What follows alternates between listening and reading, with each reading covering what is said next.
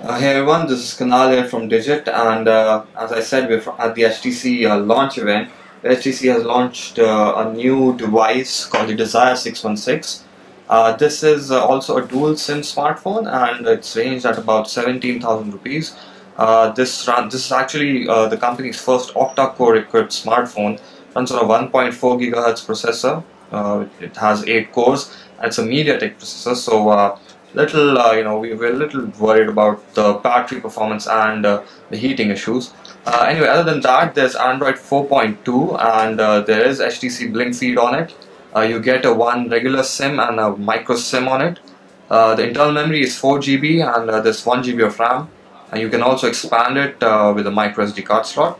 At the back there's an 8 megapixel camera and in the front there's a 12 there's a 2 megapixel camera uh, overall, I think for a 17,000 uh, rupee smartphone, has decent looks, and what HTC says is basically a, a younger brother for the Desire 816. So they're hoping to you know get some good uh, market out uh, you know with this smartphone. But for now, uh, this this is available uh, from tomorrow.